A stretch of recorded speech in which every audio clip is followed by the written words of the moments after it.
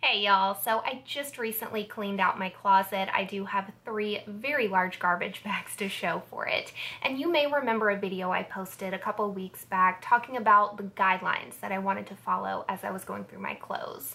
Well, I think I did a pretty good job of following those and paying close attention to the things that really matter to me and what I want out of my garments, the clothes that I wear, um, what lives in my home, in my closet. So today I wanted to show you some of the items that I'm getting rid of and why. So let's go ahead and get into it. I have quite a few things I wanted to show y'all. I mean, I didn't pull out every single pair of socks that I got rid of. I didn't think that'd really be interesting to you. But I did pull out some garments with a story that I have some points I want to address. So I hope y'all enjoy this and I hope we get through a lot of them. So this first dress is just from Old Navy. It is 100% cotton. The neckline on this dress, the pattern, I don't know what it was, was not sewn for a real woman. And I'm not even talking about size. I'm just talking about someone who has actual shoulders and breasts and, and a chest. Like it, it is not cut correctly. It's very tight. Your little arm fats poke out.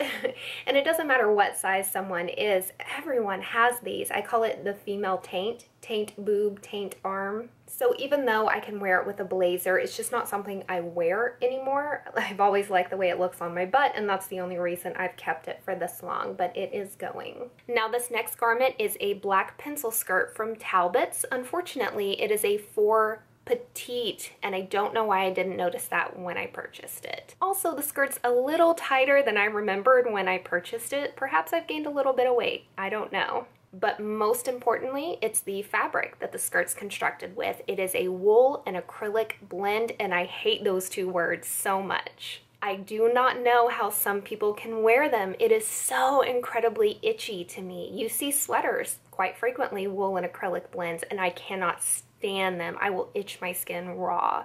And this skirt is fully lined, fully lined and I can still feel the itchiness through it so I don't wear it. Now I do have three pairs of pants here that I'm going to take my own damn advice on and that is to get rid of your skinny jeans. If you know me, you know I'm on like a personal crusade to rid every woman of the demon inside of our closet that is skinny jeans. You know the jeans that are like too small for you and every time you open your closet they laugh at you and call you fat? Yeah, those. I hate them. These pair of jeans are a perfect example. They're from Buffalo. They are gorgeous pair of like washed out black denim skinny jeans. They make your butt look so cute too. And they fit me nice enough everywhere else, but they don't fit me in the waist. And that is something I've always struggled with throughout my life, finding jeans that fit, um, that are tight enough in the leg and butt, but also fit my waist because I am kind of straight. Um, as I've gotten older, I've gotten some more curves, but especially when I was younger, I was straight. I'm built like my dad. And they would look like they fit me. They look like the right size, but just something about the waist, I can't get them on. I can't get them to be comfortable. And I hold on to them, looking at them, thinking how beautiful they are. And then every time I try them on, it makes me feel like shit about myself. So I'm gonna take a bit of my own advice and get rid of them. This vest is a perfect example of why I often wonder if these fast fashion, cheap fashion houses even bother to look at a female body before they start designing clothes because this makes me and any woman who wears it appear, you know, three sizes larger than they are. If they would have paid a little bit of attention and nipped in the waist a tiny, tiny bit, a couple of darts, it would have made a world of difference. Second thing are these huge pockets on front anywhere you put any pocket, any design, any decal, it attracts the eye just naturally. That just naturally happens. You put these big square pockets right on the stomach and it just draws all the attention to the stomach and makes your stomach look even bigger. And I personally carry my weight in my stomach. Like, like I said, I'm built just like my dad. We're, we're kind of those apple-shaped bodies. And so that is the last place I need to draw attention to anyway, just totally missed the mark for me. It's sad when I see like just these tiny little changes. If you would have paid a little bit closer attention, it actually could have been a cute garment. Now this next sweater is another perfect example of what I was talking about. If you're gonna go with a material that is puffier, chunkier, bulkier, whatever, then you need to pay close attention to fit and cut and the size that you need to go with. I would like it and I probably would keep it if it was at least two sizes bigger because this chunky sweater that in my opinion is a little bit too short so it already kind of shortens my waist.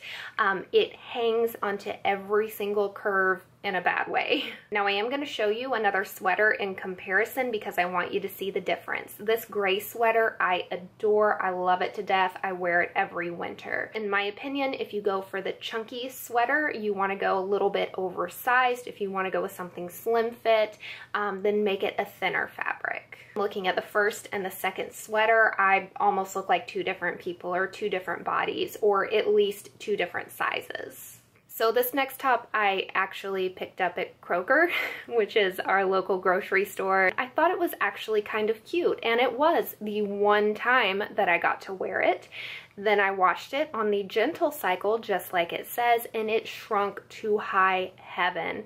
As you can see, the sleeves don't even match up anymore. One arm, I guess, shrunk much worse than the other one and more so than the arm, like I could kind of scrunch it up, make it look even, but the length of it shrunk, and so now it just kind of hits me at a weird place, whereas I used to be able to wear it with leggings and it would cover my crotch and my butt and everything. This cropped leopard print jacket is a perfect example of just my taste changing as I'm growing older.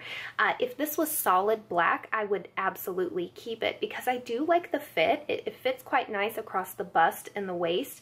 Uh, my one caveat is that it doesn't button in the front. I don't know why. I mean, I do know why. It's from Charlotte Russe. It's fast fashion. They were trying to make it as cheap as possible, so they left off a button. But I think if a button had been there, it would have made a lot of difference. I think it would look a lot nicer and a lot more tailored. I just don't do bold prints anymore. I don't really do leopard print anymore. I used to be more into animal print. I'm not. Uh, I, I prefer neutrals. If I happen to come across it in black, I might pick it up. This next dress is actually from the Liberty of London collection that they did with Target quite a few years ago. The kind of 70s-esque floral print is just, it's not me. And what I've noticed uh, with my sundresses, with all of my dresses, is that that is the most colorful section of my closet. And to be honest with you, I don't necessarily like it. I am going for a more sophisticated, more grown-up look now. It's just what I prefer and also just kind of comfortable and casual.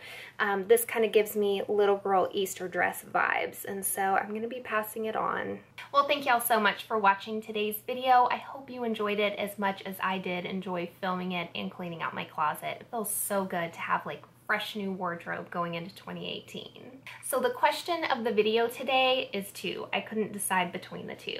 The first one is what is your ideal closet? What does it look like? What's your dream closet? I would love to know. And the second one, equally as important, I believe, what do you look for when you're out shopping? When you pick up something, you see something that you're interested in, what are you looking at? What are you looking for? Is it the way it fits on you, the way it fits with the clothes that you already own, etc., etc. I would love to know in answer to either one or both.